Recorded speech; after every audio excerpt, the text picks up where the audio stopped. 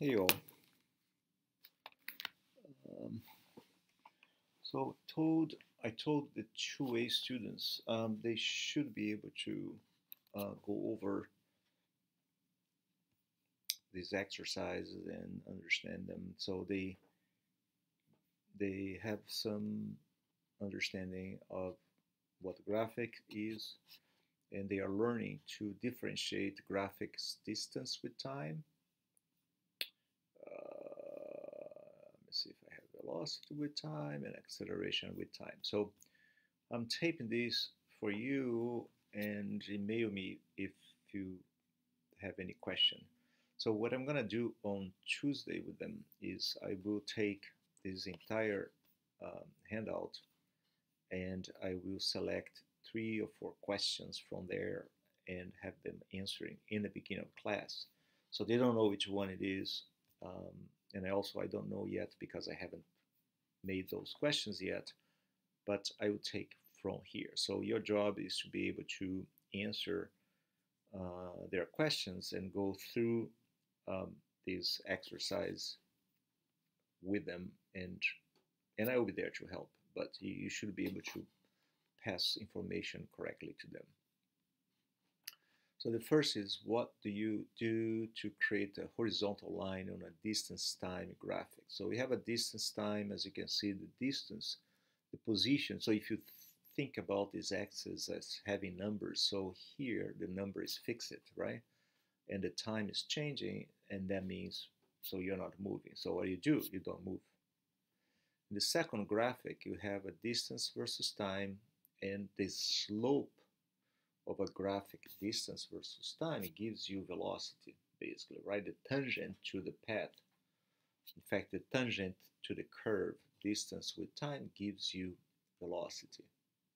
In this case, the slope is always the same, which means you have a velocity that is constant, and more than that is positive, which means um, you should set your origins and move away from the origins in a positive direction with a constant velocity.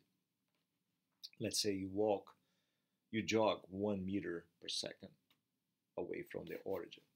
Graphic number three, um, when you, uh, again, the, the slope is constant, doesn't change, and it means the velocity is constant.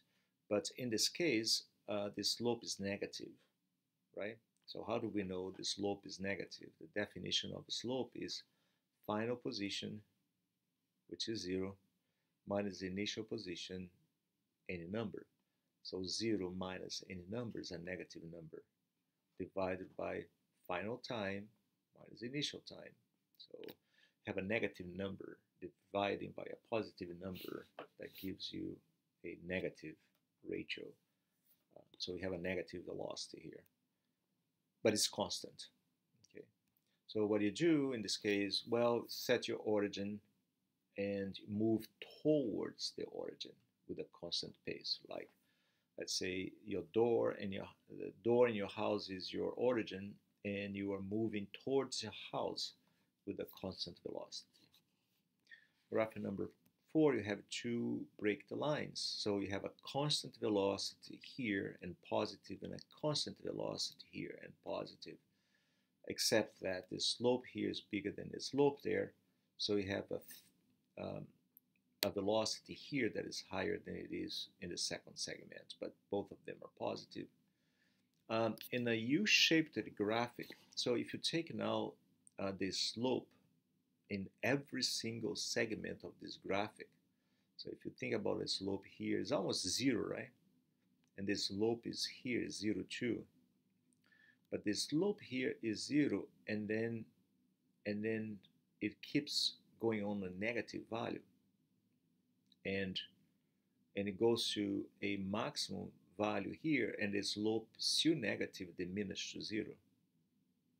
So it's as if you start with a zero speed and then you speed up to a maximum value and then it goes down to a zero volume speed if you think about velocity, which requires signs, so if you take a tangent here, zero, but a tangent at any given point here is a negative right? Has a negative slope like this one.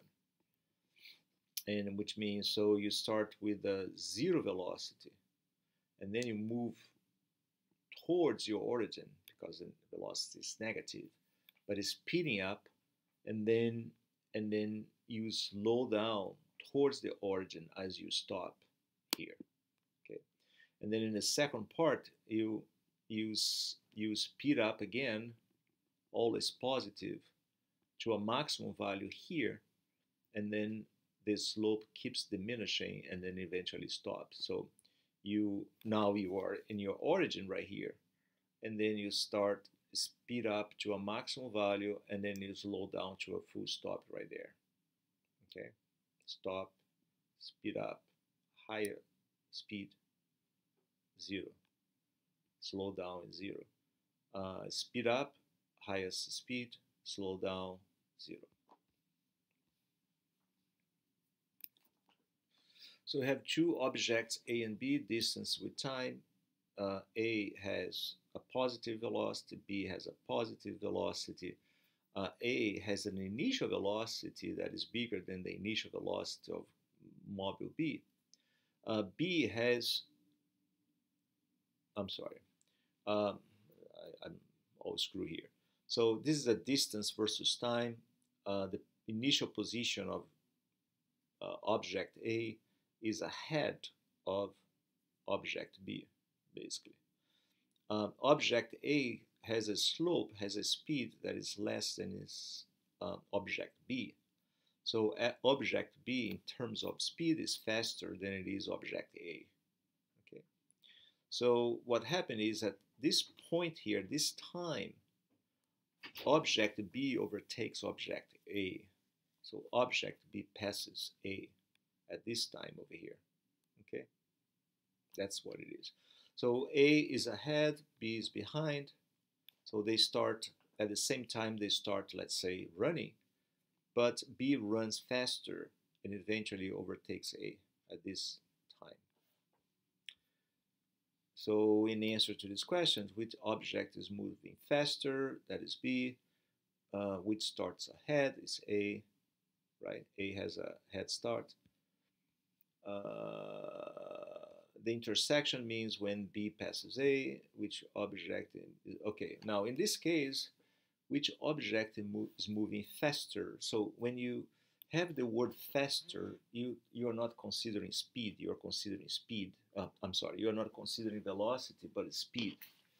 So moving faster means uh, which one is faster, not not velocity. You're not thinking about velocity. Remember, velocity is something that requires direction. So you have object A that has a certain slope and is moving in a positive direction.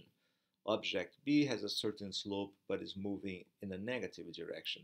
So it's as if A is going from um, A are two married, a married couple, right? So both live in the same house. So uh, object A is, let's say, the male uh, member of this couple that is moving out of the house and going to work in a straight line. And object B is the wife that is in her work or whatever and is going towards home. So the way you interpret this graphic is uh, the graphic is start counting at the same time. A is moving away from uh, the origin and B is moving towards the origin and uh, they meet at this point. Which object is moving faster, you have to determine the slope. It seems that A has a uh, A has a, a bigger slope, so A is faster. Which object has a negative velocity, that is B. Uh, in this case, so B has almost no slope at all, right? And A has a big slope, so B, A is faster than B. Um, a has a negative velocity, B has a positive velocity, but B is almost stopping. So which object is moving faster? A is moving faster. Which starts ahead? A starts ahead. Explain what you mean by ahead. Well, if you take um, an origin at certain point, uh, B let's say this is 0, B is at 3 meters away from origin, and A is 10 meters away from origin, right?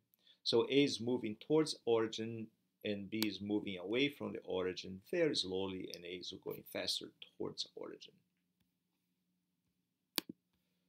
Uh, sketch the distance, position versus time graphic corresponding to each of the following description. So I have to sketch. Um, I will I will um, change now uh, the media. I'm gonna get a am uh, gonna get a, a PDF file. Okay.